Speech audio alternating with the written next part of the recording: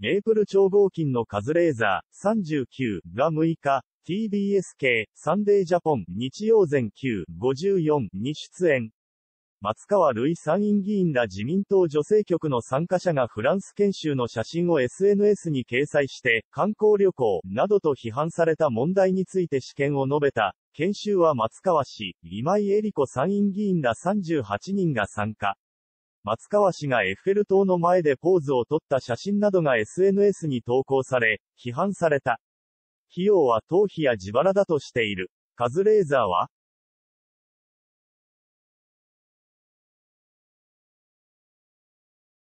今時大人数の海外研修はそんなに効果あるのか？みんな信用していない今時そんなことするの驚き、と疑問し、少子化対策はフランスは先進国の中でも進んでいると思うんですけど、そういうのを調査、研究したいなら日本の中でも研究している文献もあるので、それを調べた上、わからないことを調べに行こうというんだったら、あんまりパリのど真ん中には行かないんじゃないか、と語った。